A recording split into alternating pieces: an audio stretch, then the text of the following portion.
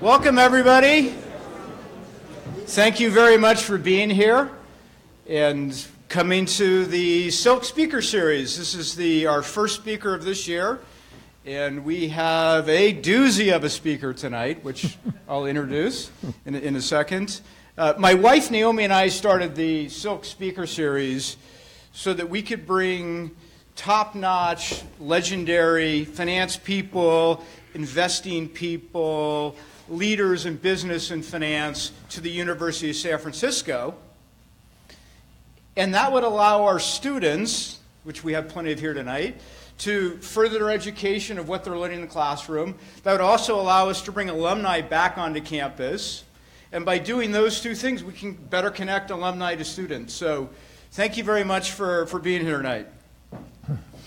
We are lucky enough to have with us tonight Dr. Myron Scholes, who won a Nobel Prize in economic science in 1997. But before I go into the details of Dr. Scholes and tonight, I really want to recognize a couple people. And I, I first want to recognize Father Paul Fitzgerald, which is there's uh, right in front. Uh, as most of you know, Father Paul Fitzgerald is the president of the University of San Francisco. We are so very, very lucky to have his vision, his leadership, and he is so laser focused on making sure that you students get a wonderful, rich, and rounded education. Also, I want to recognize um, Dr. Dean or Dr. Elizabeth Davis, who is right in front of me. Um, Dr. Davis is the dean of the School of Management, and we are ever so lucky to have you here, uh, Dean Davis. And I thank you very much for your leadership, for the wonderful curriculums that you put together, for the fantastic professors that you assemble, and really focusing in on um, our students and making sure that their education is something that they can use for the rest of their life. Thank you very much for all of your service to the University of San Francisco.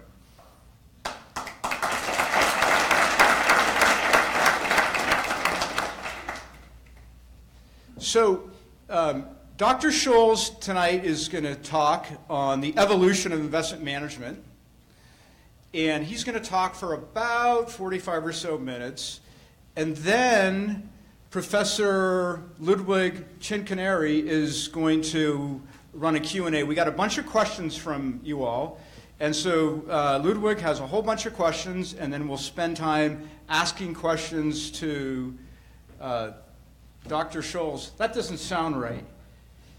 Can I just can, can I just say legendary Dr. Scholes or guru Dr. Scholes?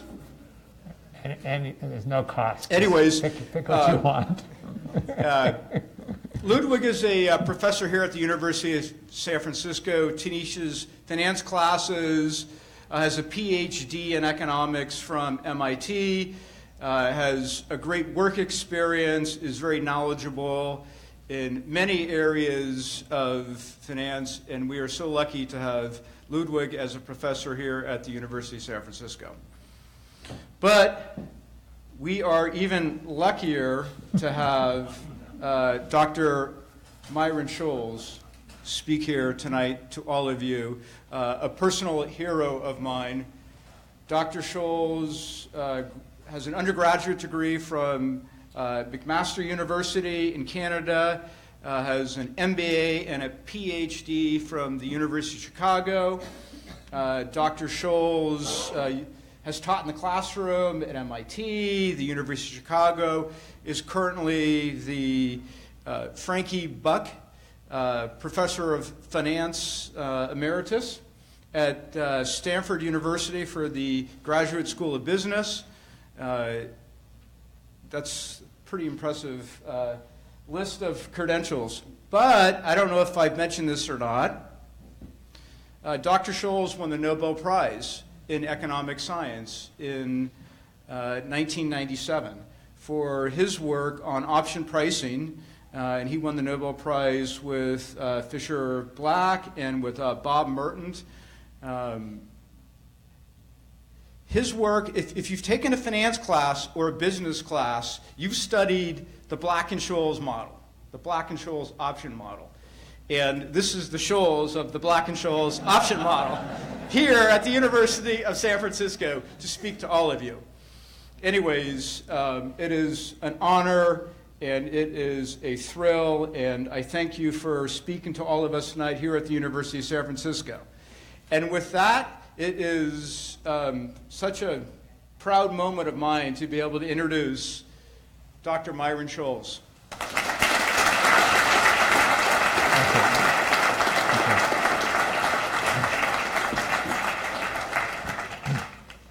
Um, yeah, I guess you can see that. Um, thank you very much for the uh, kind introduction. Um, I have uh, talked to you tonight um, about something that I'm very passionate about, and uh, I have uh, over, and I call the evolution of investment management, and I call it the cost of constraints. And so it's going to be fascinating um, to listen because uh, I, I feel so uh, so um, close to this and so excited about what it is and uh, what it can do. So um, I will, um, I'll, I'll, try to tell you uh, what it is, but it's going to be really in uh, two parts, okay?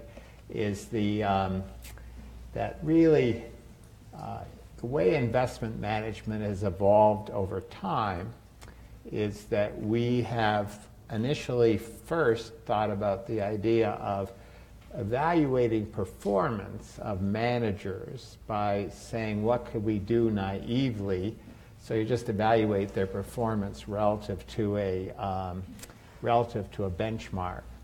And over time what has happened is that instead of saying let me just evaluate your performance relative to benchmark that what I observe around the world when I go around the world and talk with endowment uh, endowment, uh, endowments or others that uh, basically that the idea of staying close to a, or just evaluating relative to benchmark has been the idea that we have what's called tracking error constraints, which means that not only do you evaluate someone relative to benchmark, but you constrain them to stay close to the benchmark. And um, and so I've been, I have a paper that you can access from, on my website at Stanford, or my homepage at Stanford, which actually goes into consummate detail about this and does a lot of the active, uh, a lot of the uh, modeling and the empirical testing of it. But the idea is that when uh, in life, when we have a constraint, and the interesting parts about constraints constraints themselves have a cost. And then when there's a cost, what do people do to mitigate the cost of the constraint and how they behave? And when you mitigate something or try to uh, avert the constraint or act within the constraint, then that might have an implicit cost in the sense of a lost return. So today I'm going to talk about these implicit costs or lost returns in the dimension of having to stay close to a benchmark or having a tracking error constraint. And the second part, uh, which is not yet on my uh, homepage, which will be soon, is the idea of thinking about all investment has moved to the idea of how are we doing relative to someone else, or how am I doing relative to a benchmark. And that is not what investors are interested in. I know we don't eat relatives, you know, we might have them for dinner, but we don't eat them. And so, but most of our life is really talking about what we want to do is maximize the value of our portfolio, maximize the value of investments we make, have the best terminal wealth experience that we can have, and subject to some type of drawdown constraint. We don't like to have large drawdowns because that means we have a loss. A drawdown in our portfolio value is a loss. And so we're interested in that. And uh, if we think about averages or average returns and the Sharpe ratios and everything we teach in school and class that permeates through the whole industry, not only in the United States, but around the world, Europe, China, uh, Asia, the rest of it, Japan, etc., then basically it leads to averages which are static when you think about averages, and it has uh, also an implicit cost in terms of lost return. And so the interesting part of life, or the part of investment, is that the return, the distributions, the things we deal with are always changing. I mean, they're not constant or static over time. And this is very important to realize that. When we first started in the profession, we didn't have the data. Well, I didn't have the data. So it was easier just to assume distributions were normal and distributions didn't change. And when you assumed that, that allowed you to have very wonderful results that were kind of simple. And even in the Black-Scholes model, you know, Fisher Black and I, we did the technology, we allowed everything to change and very dynamic, and then we couldn't get a closed form solution. So that what we did is assume that the volatility was constant and that returns were normal, We distributed, log normally distributed in the compound sense. And um, but those were only assumptions. So the interesting point is that my belief is we have to refocus our thinking away from average returns or average performance relative to a benchmark and go to compound returns. That's how the growth of your portfolio uh, changes over time. Not averages, not an average, okay? And I'll explain what they are. And compound returns really are most enhanced by not concentrating on the middle of the distribution. The middle doesn't mean anything. It's, uh, it's really fascinating. But all the ups and downs, the little ups and downs, forget them. They don't mean anything. We all concentrate on middle and the distribution, little ups and downs. Everything in investment is determined by the tails of the distribution. The tails are the extremes. The, and what I mean by the tails, it's not only the downside loss that you suffer. But in life, it's missing the good as well. And the good is very important. So it's a combination of the down and the good. And basically, they have to figure out how to mitigate tail losses, the losses in the extremes, and participate in tail gains, the good, good ones as well. And the fascination about compound returns, it's each period of time. If you lose 90% this next period, it's going to take a long time to come back. Each period counts. If I start with 100 today and I, uh, and I go over a period of time, and I, sorry, I lose 50% today in the first period, and I triple my money, I end up at 150. If I triple my money first and I lose 50%, I still end up at 150. The order doesn't count. In compound returns, you're multiplying 1 plus the returns, so it's compounding over time. And basically, every period matters. And the interesting thing is then I realized, once again, came to the idea compound return is crucial, every period matters, then where do I get information about the risk or the distribution of possible returns? And then I said, let me get information. And believing in market prices, I believe that I can get information from the option market, not as to the mean, because the options under Black-Scholes really are priced as if the expected return is equal to the risk-free rate, but I can get the distribution of risk relative to the assumption of the risk-free rate and how that distribution is changing each period of time. So I can look at the market, and the market can tell me. So when you have a situation where uh, the market uh, price of protection of the, in the tails of the distribution are increasing, that means the insurance price is going up, the risk is going up. And you can take information and use that to enhance your compound return. The same way, when I was starting off in university, I used to drive home and just take the crowded freeway to get home. But nowadays, I crowdsource. You know, I can use Waze, and the information in the crowd tells me. And since risk, I'm going to show that the mean doesn't matter in returns. It really doesn't matter in dynamics of return.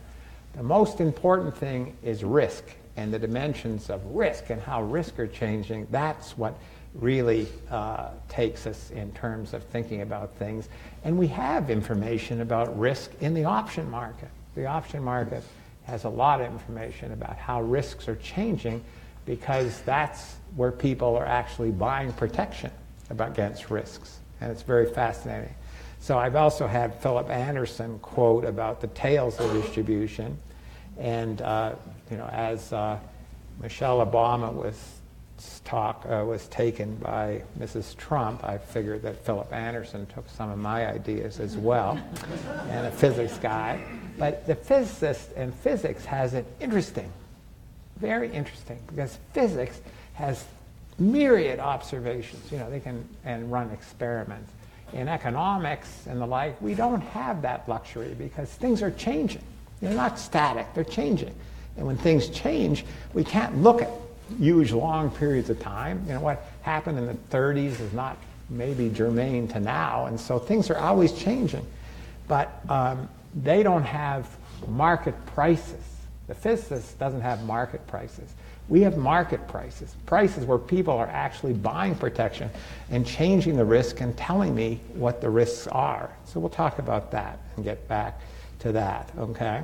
So I think really the future course, if I can talk about the evolution of asset management and thing, is to really maximize the terminal value of portfolios. Compound returns are crucial, not average returns.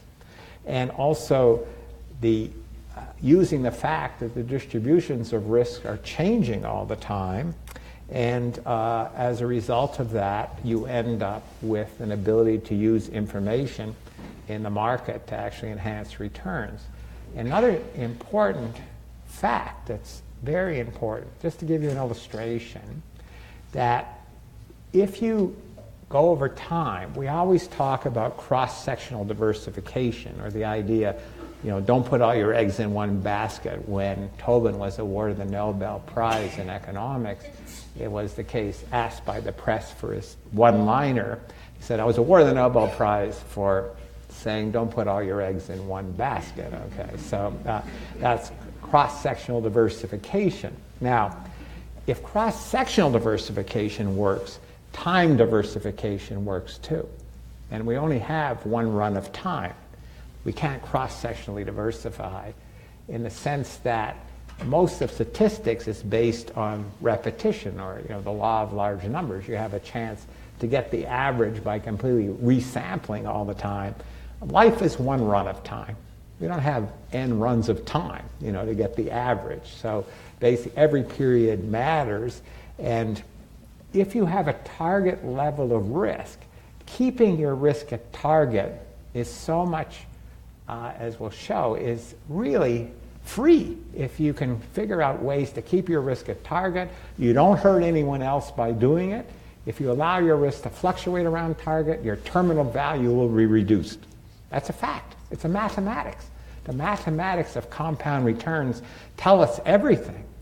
Okay, it's the ma- it's all mathematics. It has nothing to do with my intuition. It's just how compound returns work. And compound returns, as we'll, I'll show you in a few minutes, are really all a function of risk and how risks are changing.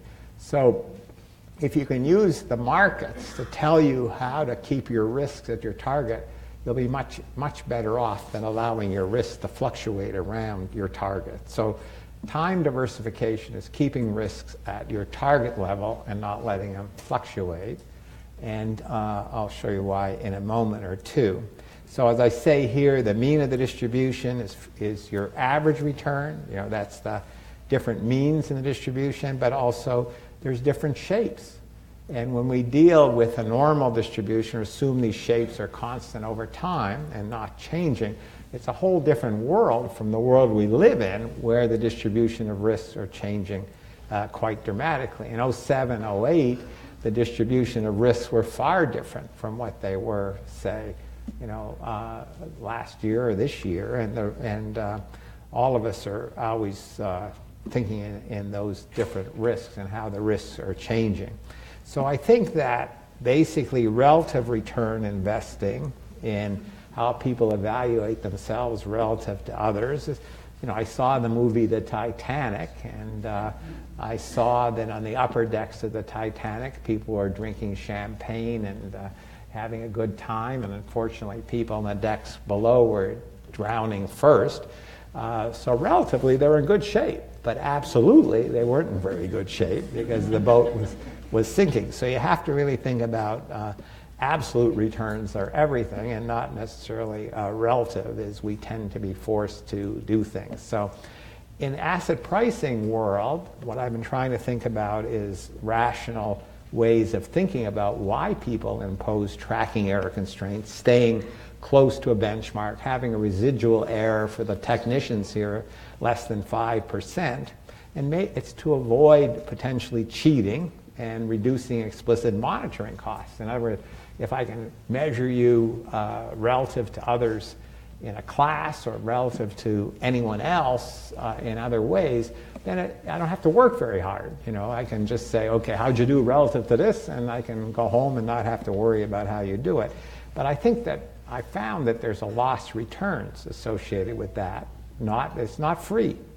And so the interesting thing in investment is how do you gain trust? How do you tr- gain trust?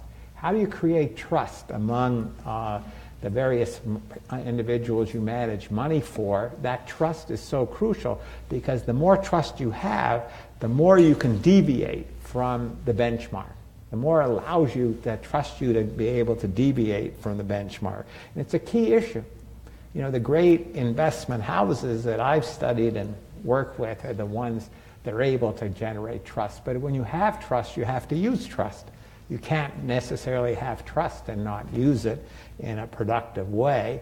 And if you stick to the benchmark and never deviate or deviate very little from it, you'll have uh, really um, lost returns, and it has a really a potential cost.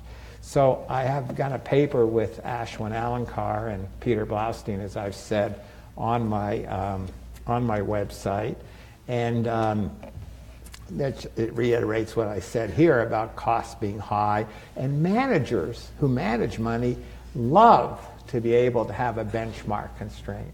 Because the fascinating thing about active managers is when uh, they don't understand things, when you have shocks, when things get tough, they tend to diversify back to the benchmarks.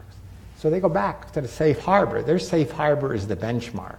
Because then they say, oh, everyone else is the benchmark went down, I went down, I'm perfectly the same as everyone else, so what, what should I have done differently? And you told me that you wanted me to stay close to the benchmark. So I think that um, you know, tra- we trade off explicit cost of evaluation, explicit cost of generating trust with that of thinking in terms of lost returns. So what we find is that with a tracking error constraint, the manager finances their active investments by using lower volatility stocks. What I mean by that is if a manager tends to love high risk stocks, medium risk stocks, and low risk stocks, how do they finance it? They would tend to finance it by those stocks that have the least and those stocks that have the least tracking error constraint are those that have lower volatility. You know, it's not going to have much effect on the benchmark, and two, stocks that are very highly correlated with the benchmark. So they're the ones they liquidate. And so what we find is that, uh, yes, that's what they do do, you know, and from our empirical work, they do do that. And uh, what that means is that they tend to overweight higher risk stocks in their portfolio to, and uh, underweight the lower risk stocks. But at times of shock, they completely reverse everything and go right back to the benchmark. Okay? Because what we find is that if you believe you're in something that I can get, I can achieve extra returns, you want to have more invested in those classes. You get extra return, but the greater the uncertainty of your extra returns, the less certain you are about your skill at that moment, then you tend to reduce your risk and bring it back to the benchmark. So we find that higher risk assets underperform, potentially as a result, and uh, which is consistent with the theory or the empirical evidence that, you know, so constraints do have an effect on portfolio performance. I just have here that lower volatility stocks tend to be um, uh, under, underweight in the uh, index, okay, 66 versus 56 percent. And for Ludwig, who said I watched, he wanted me to be very technical, I had this slide from our paper, and uh, this actually has all the mathematics of what I just said, but I'm not gonna, I'm to let him talk to you about that in the questions. Okay. So I'm going to skip this slide, but I think that I like to talk about asset allocation and the constraints are costly. One of the great things in investment, and you'll remember this if you're being want to be an investor and that, is if you can understand the constraints of others and you can figure out a way to mitigate the, those constraints, you can make money. Because what the investors are doing is paying you to take risks. They're paying you to take risks. And that paying you to take risks is the idea of understanding the constraints. In life, we talk about bargaining. We talk about the bargain is such, great bargains are such that the other party to the bargain gains something and I gain something. It's not as a current president of the United States thinks, it is that everything's a zero sum. You know, if I win, he loses. The art of the deal, okay? No, the bargaining game is both win. I win, the other party wins. And so the generalized bargain in investing, the anonymous bargain, is if you can know others' constraints, you can help mitigate those constraints. They'll be better off, and you'll be better off by taking actions to do that. So I think that what we've had in our world is a constraint that basically asset allocation strategies have a common approach, which is actually a bench, uh, benchmark and tracking error. But what we find is that for many years, it's been that you have 60% stock and 40% bonds. That tends to be what uh, individuals talk about. Or when you're young, you should invest in equities, and when you get older, you should invest in bonds. Those are standard names, but they don't have any risk to them, and the glide path and the distinction is completely uh, arbitrary in the sense that the right question to ask is when you're young, how much downside risk are you willing to take? When you're old, how much downside risk you're willing to take? How you build that portfolio might be very different at different times uh, because of the investment world that currently gives you these opportunities. For example, um, in 1980, uh, when I started investing, uh, it was the case that bonds were yielding um, 14 or 16 percent, you know, and I thought maybe they were, even though I was young at the time, you know, it seemed like a good investment to me.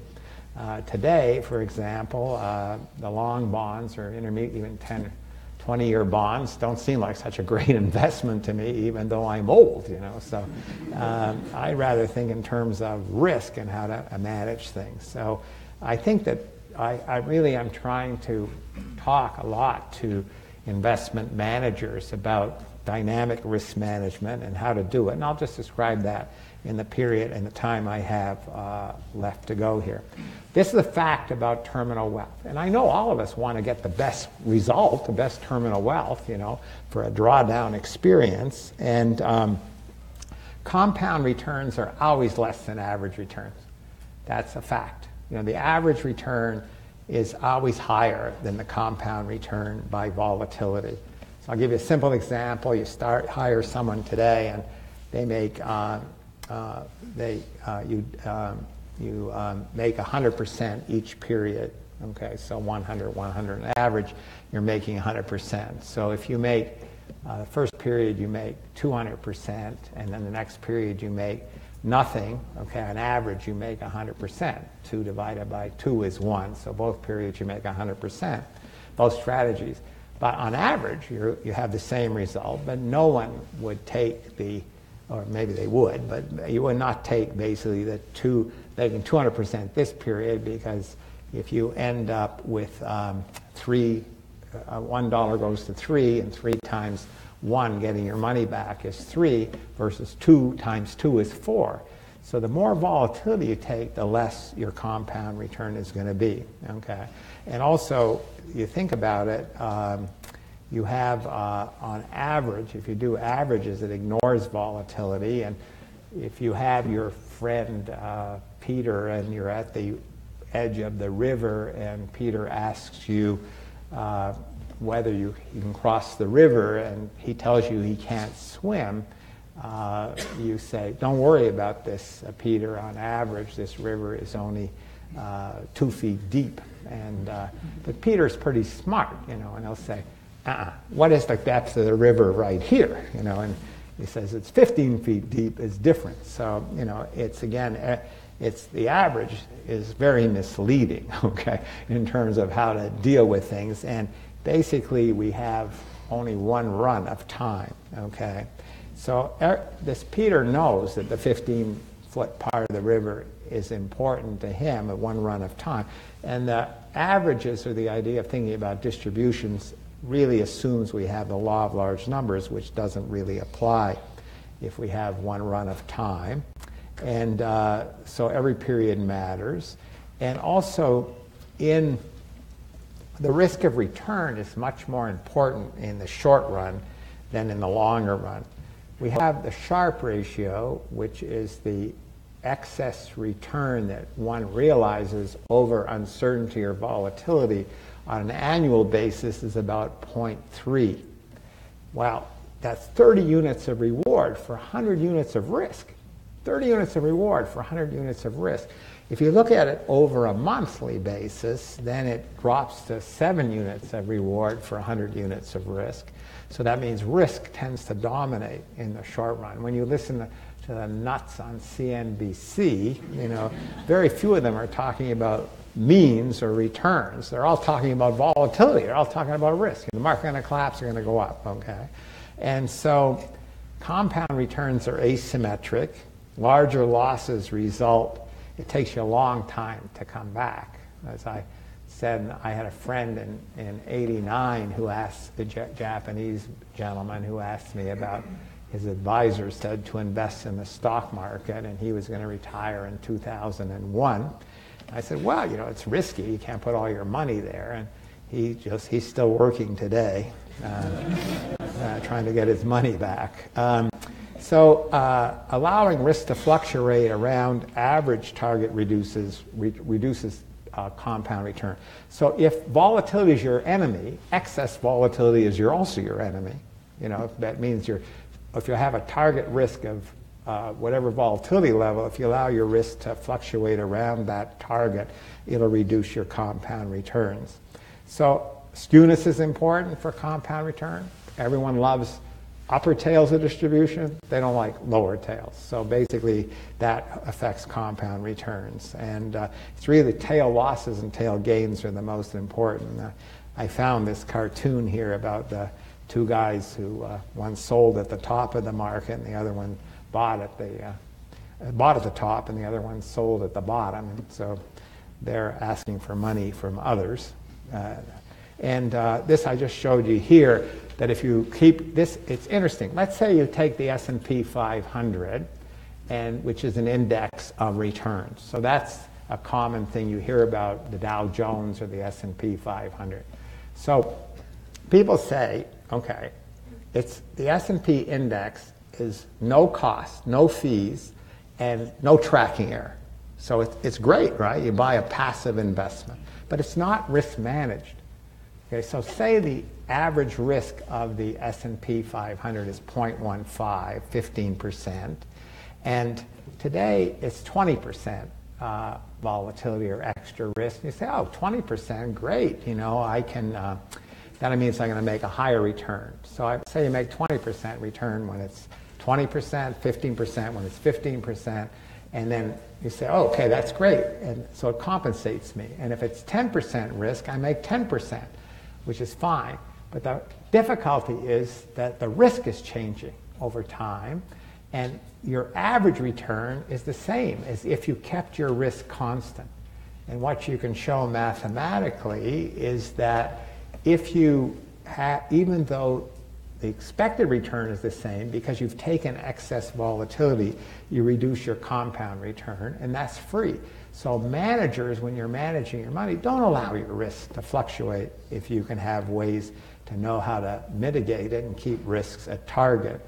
Now, the interesting thing is, and what really is fascinating and got me to really think about the tails of the distribution, are that, let's say, from Roger Ibbotson's data, that in 1857 you invested in the stock market and large cap stocks in the United States, then your compound return, your excess return, would have been 5% over this whatever risk-free rate you wanted to uh, use uh, during that period of time. So that's a compound return of 5%.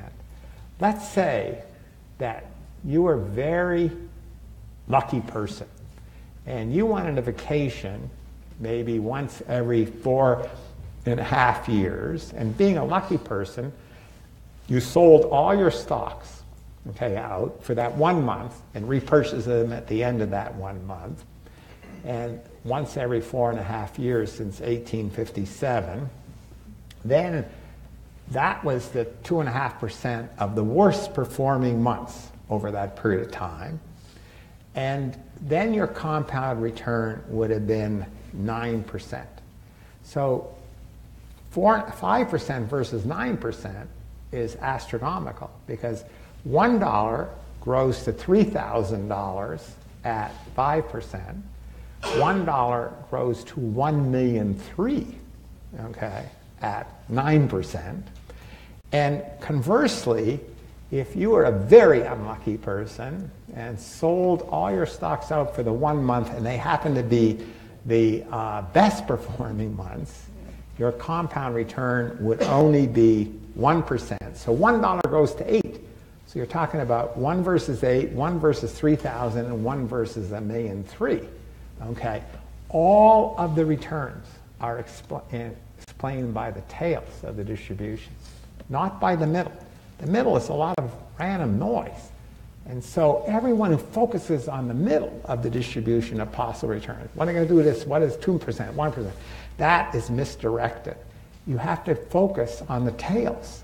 You know, what could be the bad things or what can be the good things that affect what I'm going to do. So look at the Mayweather-McGregor fight. If you look at great boxers, you know, I just put this in, but what it is, all the little jabs, a great box, don't worry about the boxer, jabs, jabs, you know, nothing, okay? It's really trying to figure out how to defend yourself against those jabs, but they're not very meaningful. But it's, and it's really, you know, being willing to uh, be able to avoid the hit that's going to kill you or to participate in those things which are going to uh, make your uh, opponent uh, surrender. And here, you know, to show the distribution of returns are not normal. Uh, far from it. Tail events are very frequent. This is uh, Bootstrap from 19, um, 1960 uh, to um, 2015. And the number of incidents of tails is much greater than what you'd ever expect in, from a normal distribution. Okay?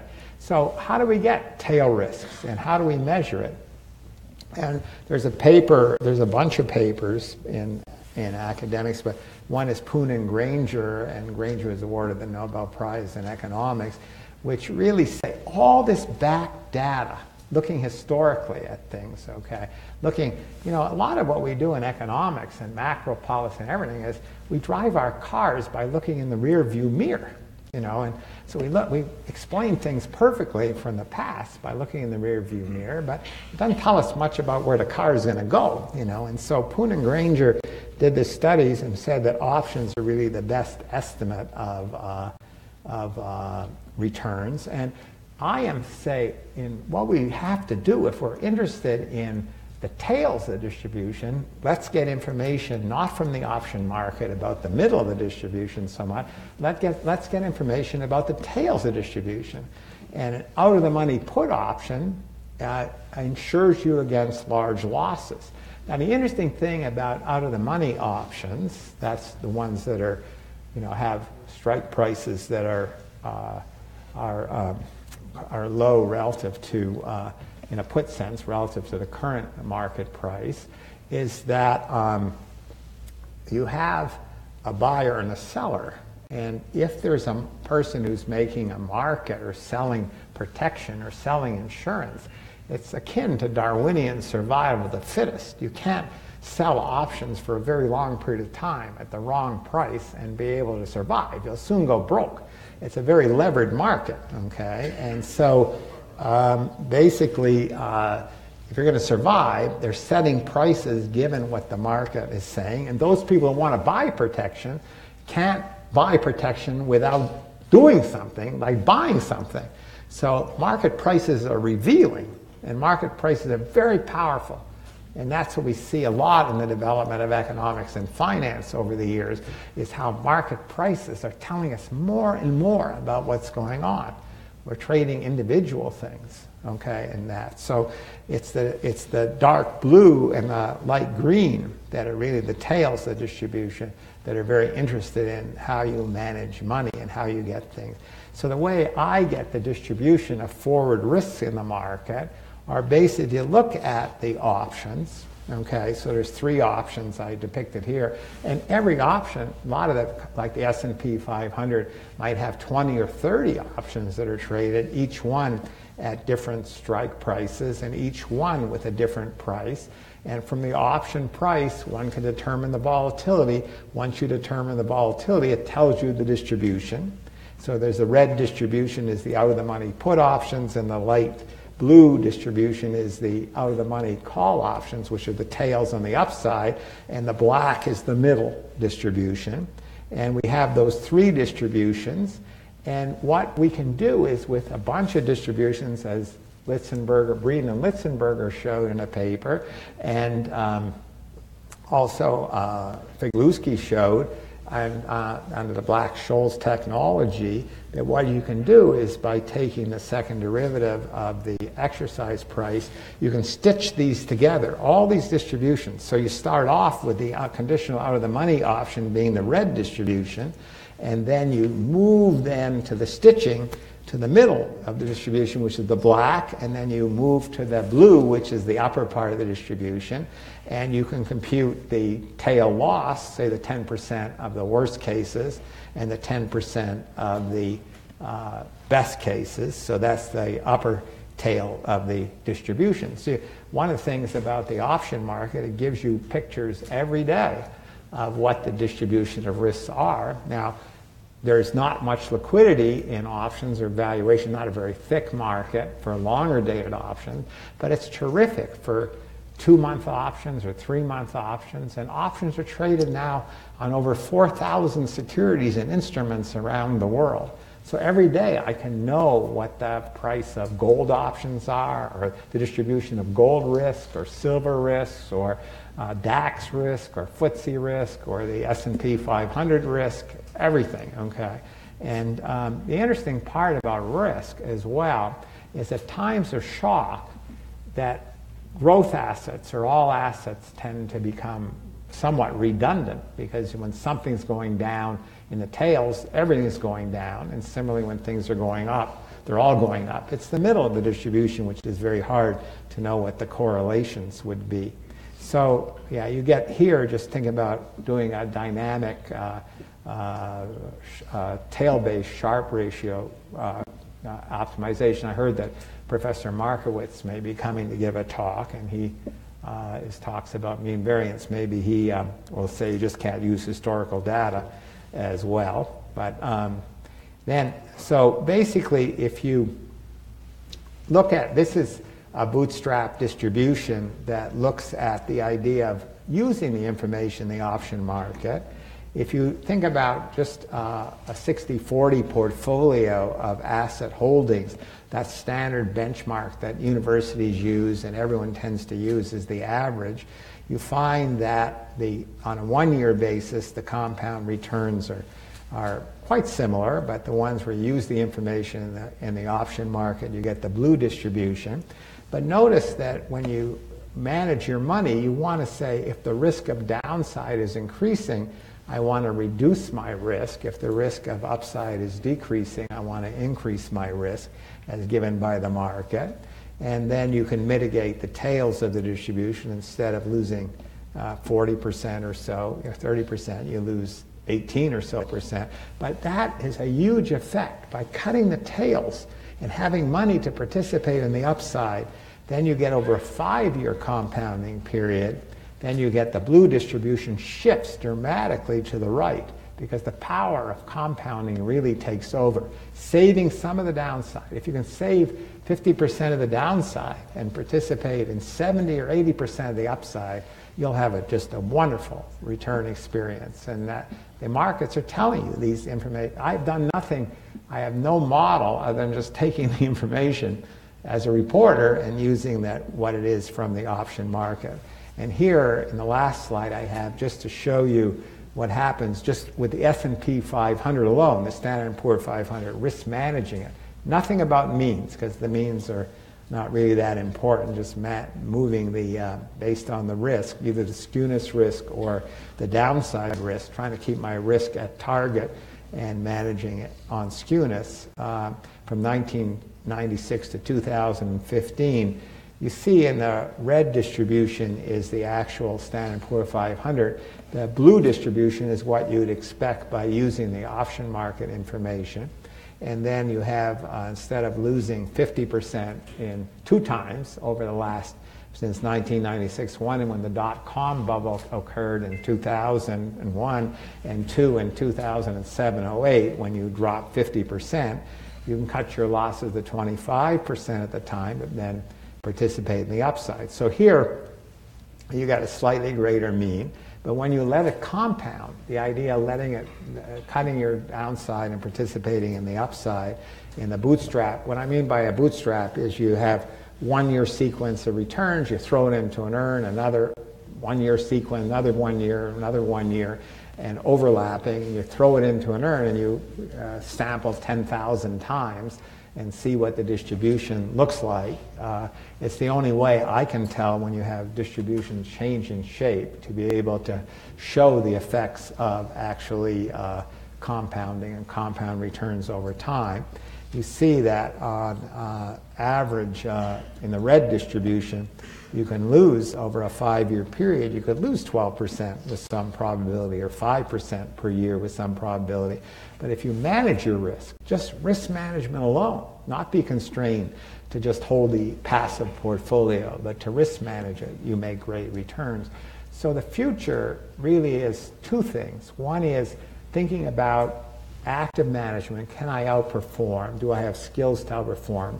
Which is the alpha world or the ability to outperform. But just as important, any anchor portfolio you have, that there's the risk managing or the beta part is important. So everyone who's just concentrating on outperforming a benchmark, the active passive debate, is insufficient relative to thinking about, yeah, I can do that, but I can do much better by clapping with the second hand, which is risk managing my portfolio over time. If you ignore risk management, you're, you're not really managing money correctly. You're not thinking about your future. So it's not the mean, it's not the middle distribution.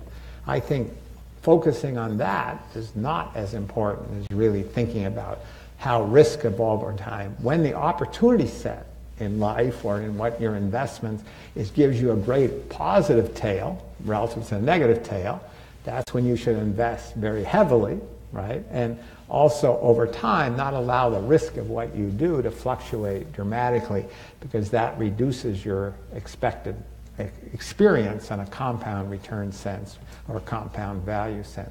So I'll stop there. Thank you.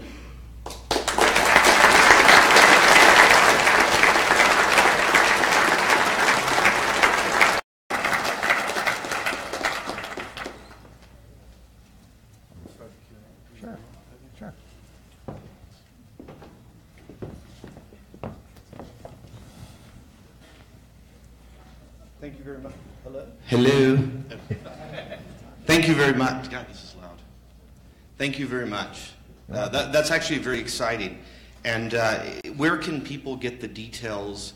Uh, is the paper on your website if they want to get The details? first, yeah, the first half is on my website about the relative value one, and the mathematical equation that you told me to put up is on it. And the, the second one I'm writing up at the current moment, and I'll have that available soon. Okay, great. Before we start the Q&A, and some of these questions came from uh, the audience and other people, I want to tell you two quick stories uh, uh, about our guest speaker. So the first story is when I was in graduate school. I had taken a lot of these famous guys, Paul Krugman and other people, general equilibrium theory, and I was utterly depressed. And I went into my office and I was getting ready to take Merton's course at Harvard. And I picked up this book and I started reading about Black Scholes and it literally changed my life. And I really mean that. It was the first time I said something really works, and um, and it was a life-changing moment. And I actually flew to New York and knocked on Fisher Black's door and say I need a job. I would have gone to your office, but you were further away. The second story is when uh, Myron invented with Fisher Black uh, the Black-Scholes pricing model. This is 1973, and right at that time by coincidence, the CBOE started trading options on the exchange. So it was good timing. And Hewlett Packard, being sort of a leading company, decided to put on their calculator a function that would calculate the implied vol from option prices. So traders could use them to trade options.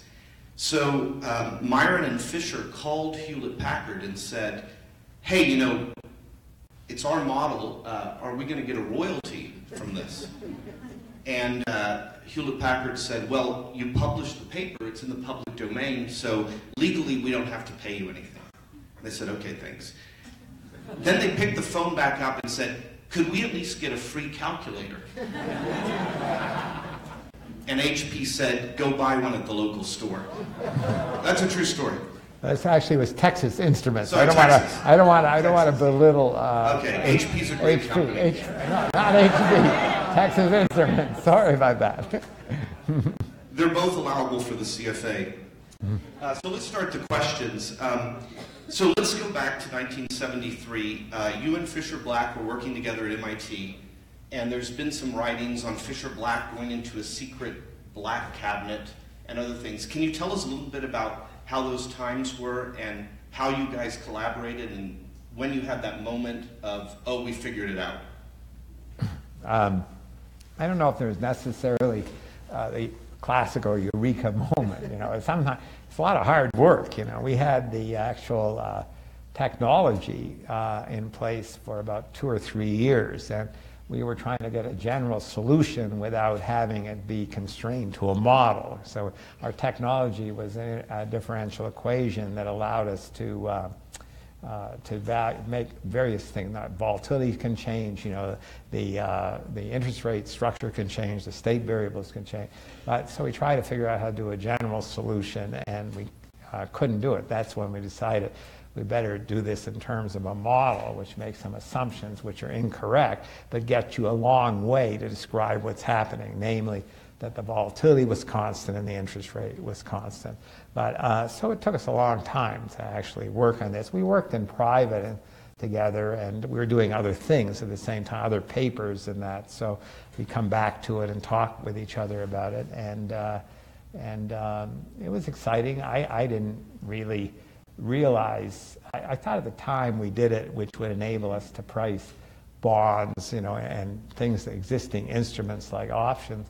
But I never saw that how once you have technology or once you have a model, a way to do things, that it enables um, the investment bankers or those in the street to actually build whole new things, you know, that uh, never existed, and never, and, and basically all evolution of um, in finance and other businesses is try to satisfy individuals as opposed to provide products, okay? And the investment banking world uh, prior to um, when, I, uh, when I started off was one of having products. So you'd have a banker would issue a product and sell that product to someone else.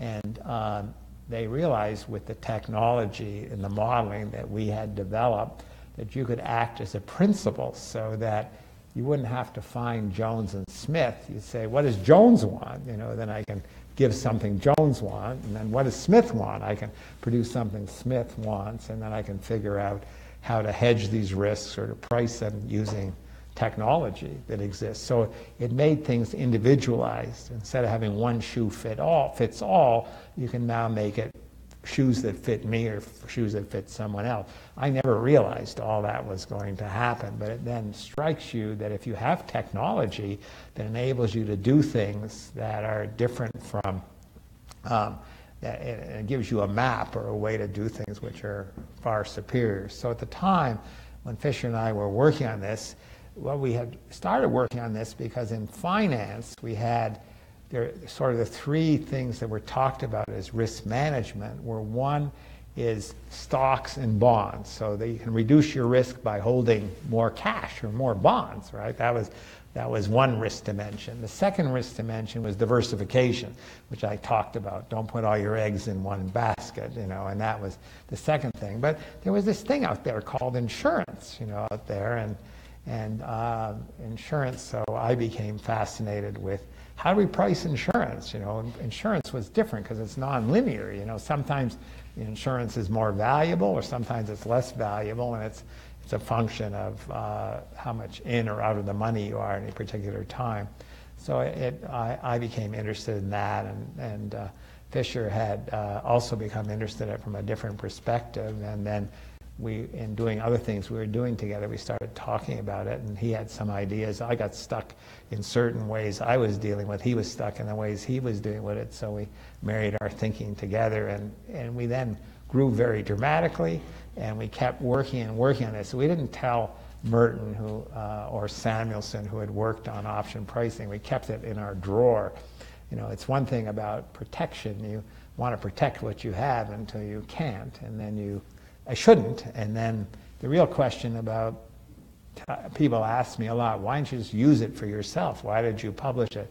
Well, it's one thing when you know a route, before you know a route through the forest, you know, you can say, oh, I'm not going to tell anyone, I'm going to use it myself. But once you figure out what the route is, then you say, oh my God, if I can figure it out, others can figure it out as well. So you have a choice in life. Either you publish it, and you get accolades for publishing something, but then it's a free good. Everyone in life could use it, or you hold it to yourself and someone else publishes it, and then they claim basically that uh, that um, you know then others you others publish, and then you can claim all you want, but it's too late at that time. Like Darwin, right? He wrote for years and years and years. He did all these studies and didn't uh, publish, and then this other guy, I think it was was it Walker or someone who had, um, or um, was going to publish, but then he said no. Darwin had discovered first, you know, and he allowed Darwin to have the accolades. But so you got to think of science, you know. We always knew we were going to publish it, but uh, but we didn't want to tell um, co- competitors too quickly. But um, they initially said uh, no, they didn't believe what we were as correct in that, and but after a while, we convinced them I was correct, and then they went off and did it uh, as well. And how has your life changed since uh, you won the Nobel Prize? Well, I tell people if you get the opportunity to receive the Nobel Prize, don't turn it down.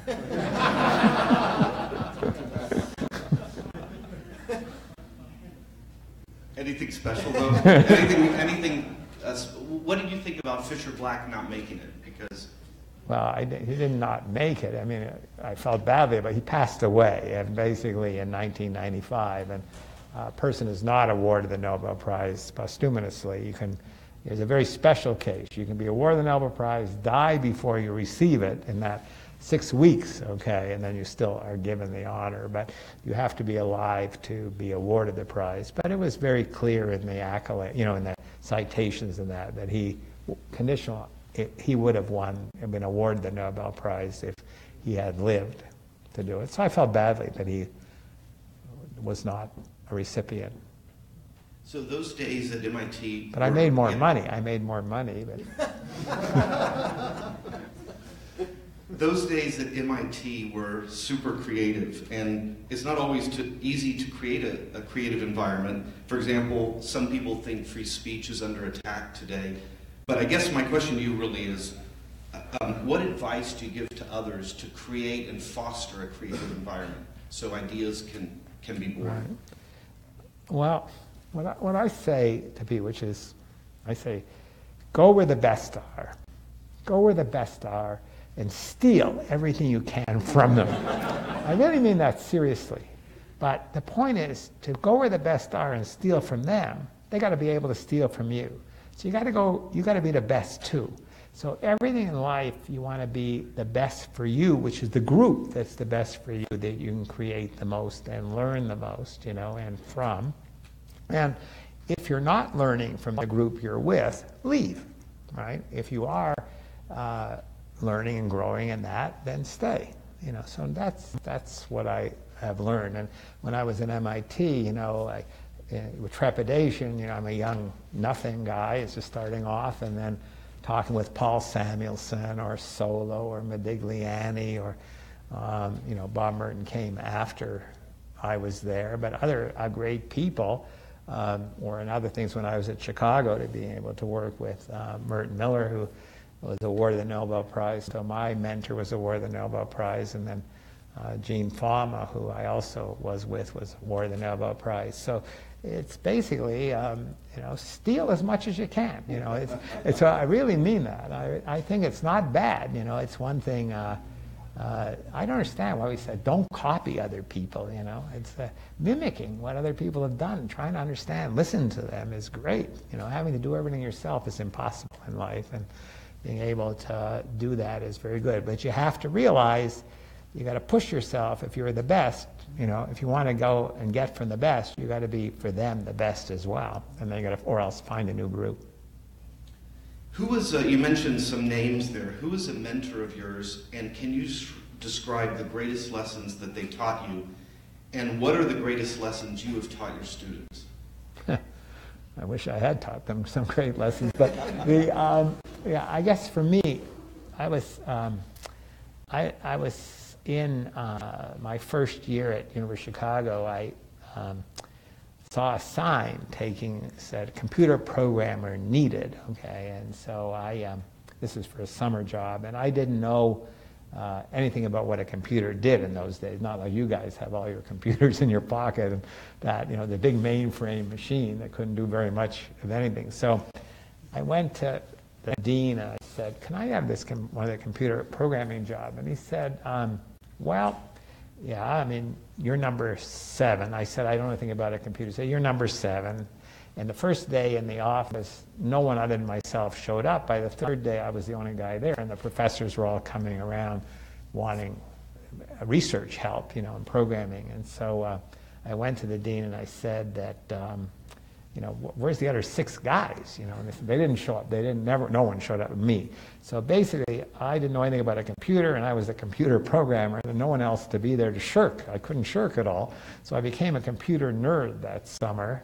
But what I did was I was amazed at how the professors loved their research. You know, Merton Miller or Peter Pashigian or or Lester Telser or Gene Fama who came in and asked for my help. I said, they love their research as much as that, that's for me. You know, basically, it must be good. You know, the guys who love their research. So I said, okay. At the end of the summer, they told me, they said, well, I said, why don't you, the professor said, why don't you go in the PhD program and get your PhD?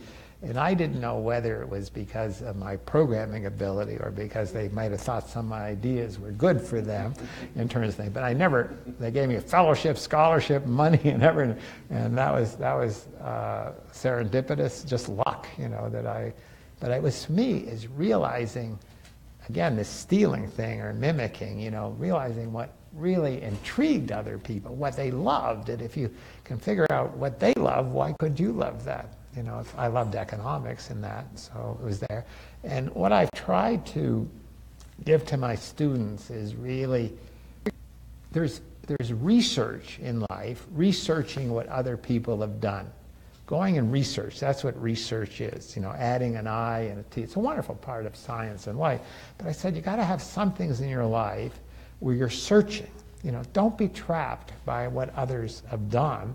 Search for other things. Search for new creative things. Don't think that I have to be vertical, you know, go right so deep into things that I don't see the path to the right or the left. You know, just don't down that narrow focus. So I've encouraged my students, my PhD students and others in that to do some searching. You know, don't worry if initially you're not going to exactly figure out what's going on. And I think that's important to, you know, balance those things and to be able to figure out how to search in addition to do research.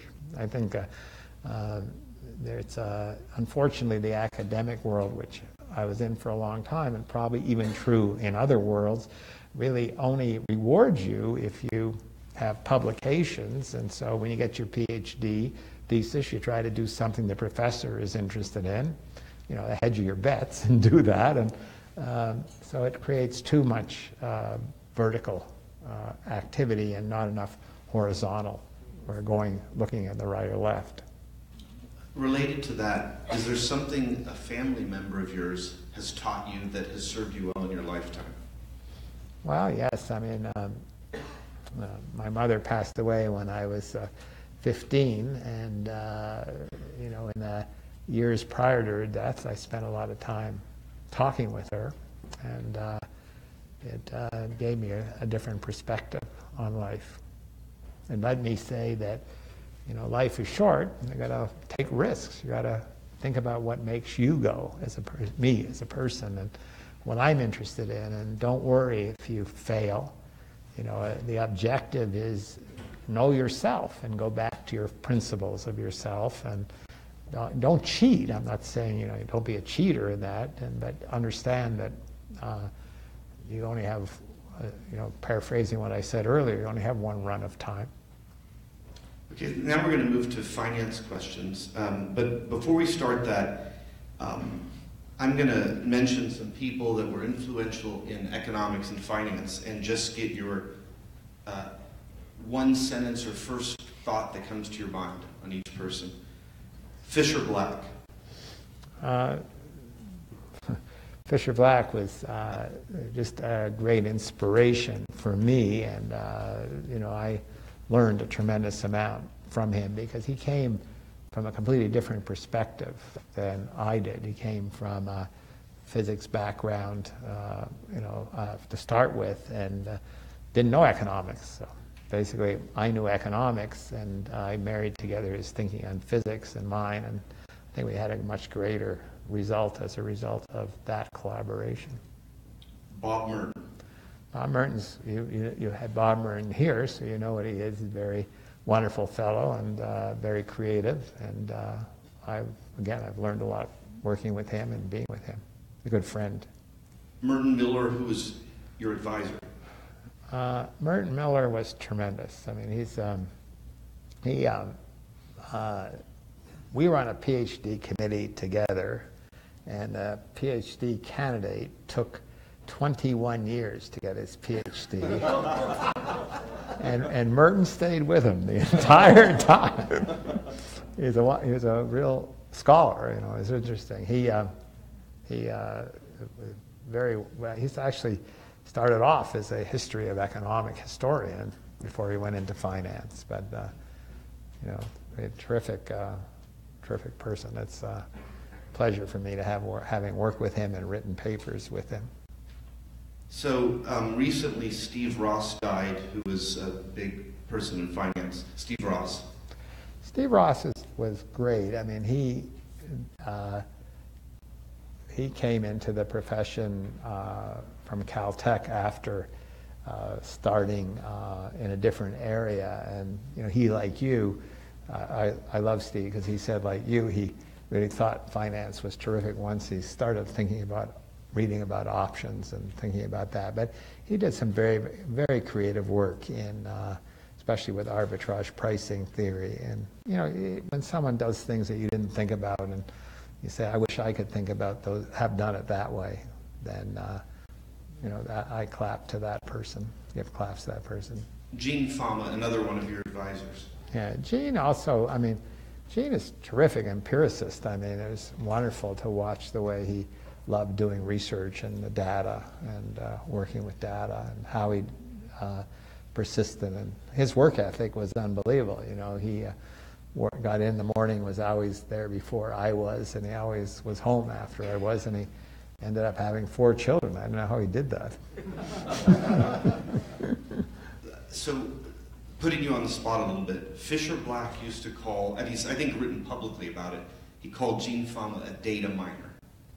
Do you have a reaction to that? Um, well, I could. Uh, yeah, I I think that um, all of us data mine. Okay. The interesting thing about science is that we're all inductive. You know, I don't think we can be deductive without cheating, if you want to think about data mining, by looking at history or looking at things. So we look at history and then we build a model based on history. And then, unfortunately, we go back and test the model exactly on the data which we developed our thinking from. So, but that's all science. I mean, science, you know, I don't know if anyone could do something purely from without ever looking at anything in history or looking at anything that would uh, change their views about, would, um, sorry, fashion their views.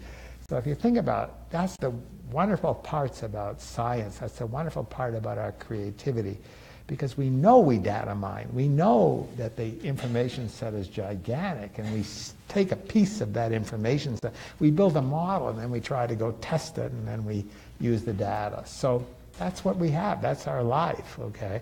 We, can't, we don't have a, a way to just be deductive. So if you are inductive, then the great scientist or the creative person is either lucky and they, didn't, they took the correct data, or they know what data to gather and when to stop. And I've seen many people who've gathered too little data from the past, and I know so many other people just kept gathering data and kept gathering data and never deduced anything. So the, cre- the genius or the creative person is to data mine or be inductive, but know when to see something different and to be able to create something which is very valuable. So I don't necessarily think data mining is bad. I think big data and all the things we're going to do just have to be know how to be creative using it and when it, what it tells you what you can't do and what it tells you it does do.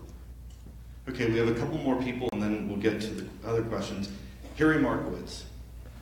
Harry Markowitz, I um, didn't know Harry Markowitz very well. Harry Markowitz obviously is sort of the father of uh, portfolio theory, and uh, I read his books as a student, you know, read his work as a student, and was just very creative, you know, so I have, that's, I'll stop there. Okay, um, I'll, I'll move on to some of the questions.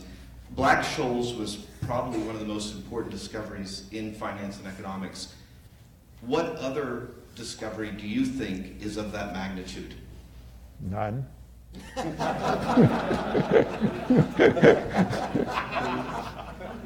I, I, obviously in, econ- in economics, okay, that was how to price uncertainty.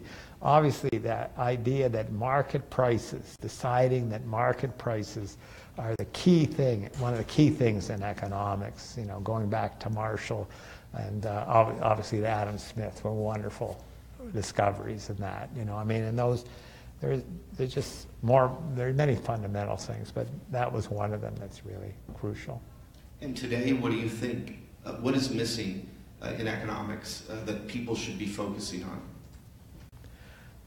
Uh, there's lots of things that we have yet to do. I mean, I think we really only broached the surface of how to think about uncertainty. We need all new models of macro. Macro models are all broken. They're based on uh, bad theory, and I don't mean to knock anyone's profession here in macro, but in, ma- in my own thinking of it, it, we're all based on certainty models, you know, and, and the like, and that basically we have to think about how uncertainty comes in right from the start, you know, and build models again from the ground up and, and uh, work that way. So we have a lot of work to do with macro.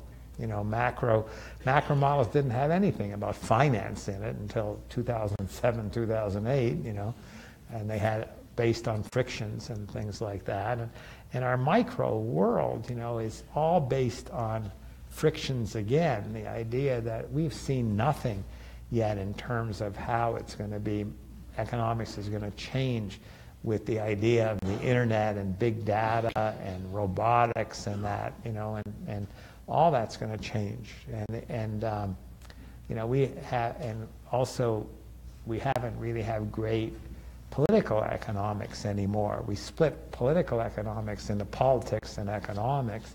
And with the advent of Asia and the politics or the philosophy of the East versus economics and the politics and philosophy of the West, you know, how are they going to mesh together when we have a world that's getting smaller and smaller? And what is that going to do in terms of how this economics is going to evolve over time? So there's huge amounts of research and thinking to do. And are we going to end up in a, in a clash between the China and the West, in the West and the U.S., you know, because our philosophy is so different from their philosophy and our economics are coming together and clashing quite dramatically. So there's lots of different things that in my remaining 63 and a half years I'm going to work on.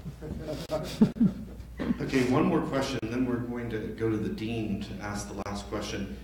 Out of all your accomplishments, what are you most proud of and why? And this can even include personal accomplishments uh, instead of professional. Well, other than my um, having a two wonderful daughters and uh, four grandchildren. I, um, you can see that I, you know, I relish the, them and legacy, so I'm consuming through them, which is really terrific. So, um, but um, I think that uh, I think one of the things that accomplishment I like um, about myself is that I, I love learning or trying to learn new things. And uh, so that to me is a good accomplishment because I think if you know everything, you know, I think you know nothing. And so uh, I keep trying to learn. And so I, and since uncertainty has been my, my uh, benchmark of like trying to understand uncertainty or get uncertainty, it's allowed me the freedom to read very broadly from history to history of war to politics to philosophy and other things, and uh, you know to see how other people think about it, physics, mathematics, you know, um, and so uh, that I just felt my being lucky and wanting to understand uncertainty or really think about uncertainty is, you know, for me is a good accomplishment. Okay, thanks. Uh, why don't we give the last question uh, to Dean Davis?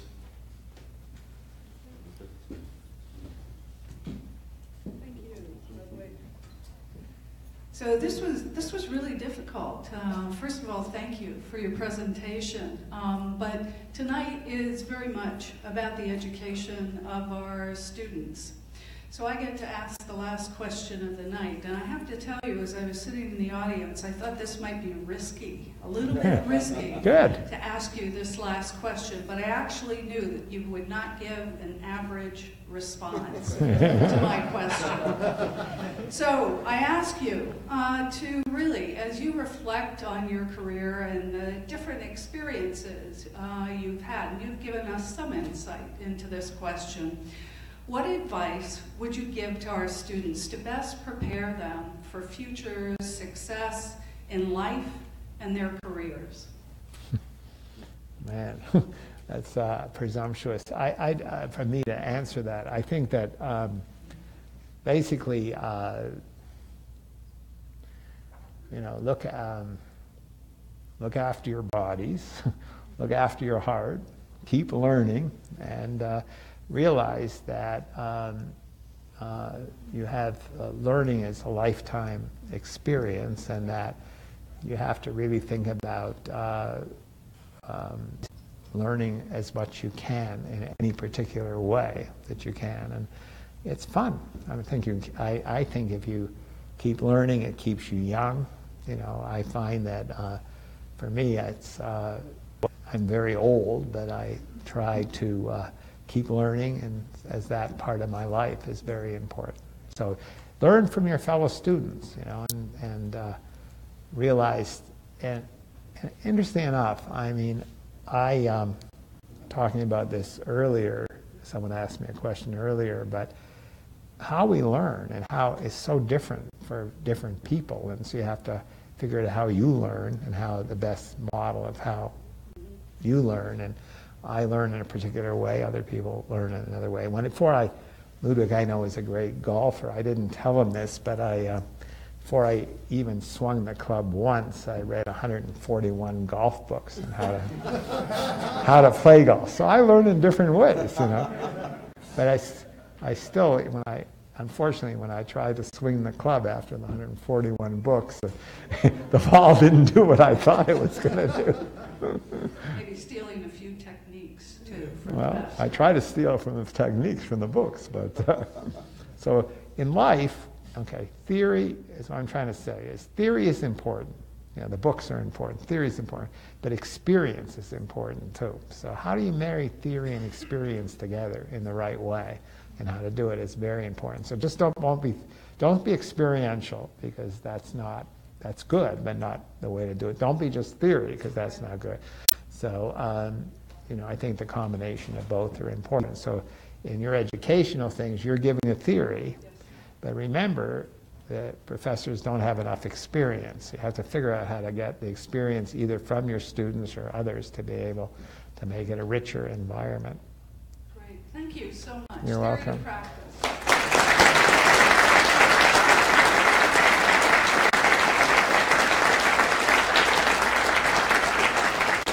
I'd like to thank Dr. Schultz tonight and Ludwig uh, for moderating. I'd also like to thank the Silks, both Jeff and Naomi, for making this possible, this event uh, in the Silk Speaker Series. Uh, For those of you who've been here before, you know that we started this uh, back in the spring.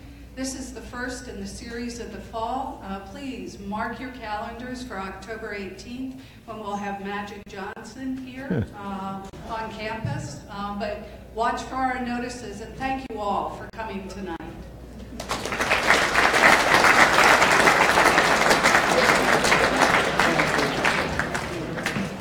Thank you Very so welcome. much. Appreciate it. Really enjoyed that.